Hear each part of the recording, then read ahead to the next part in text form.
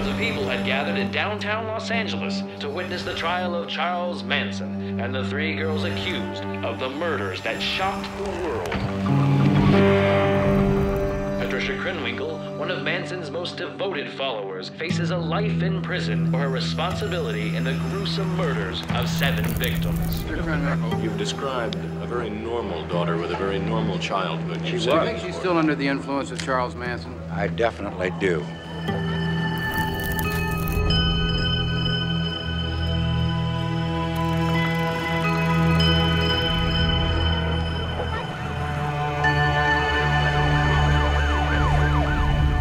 My life is a very convoluted story. In the beginning, it was just me and him, and I thought I was in love. And I didn't see how much of me was getting lost along the way. I gave up every little bit of me to that man who demanded every little bit of me.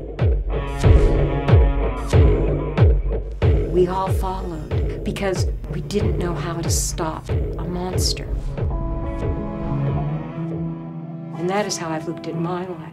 It is broken beyond repair because I would now have to be fully responsible for the damage, the wreckage, and the horror.